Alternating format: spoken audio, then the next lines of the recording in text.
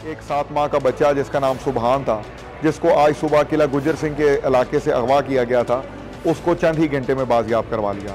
ये बच्चा मुलजमा फरजाना ने घर पे सोया हुआ था और सोए हुए बच्चे को वहाँ से अगवा किया, जिस पे लाहौर पुलिस बर वक्त हरकत में आई और सेफ़ सिटी कैमराज को यूज़ करते हुए इस बच्चे को चंद ही घंटों में बरामद कर लिया गया। बच्चे की बाजियाबी की कार्रवाई सेफ़ सिटी अथॉरिटी के कैमराज और किला गुजर सिंह पुलिस की मुश्तरका काविशों से मुमकिन हुई। बच्चे के वालद ने, जब बच्चा उसको मिला तो वो खुशी से निढाल था और लाहौर पुलिस और सेफ़ सिटी अथॉरिटी की इस काविश पर बहुत ज़्यादा मसरूर था। सुबह जब मैं उठा, मेरा बच्चा घर पे मौजूद नहीं था तो मैंने वन फाइव पर कॉल की तो पास ही थाने से एसएचओ साहब और पूरी पुलिस नक नफरी हमारे घर पे आ गई। उन्होंने कड़ी मेहनत की और सेफ़ सिटी की मदद के साथ तलाश किया बच्चे को और सेफ़ सिटी की ही मदद से हमारा बच्चा हम, हमारे तक पहुँचा दिया।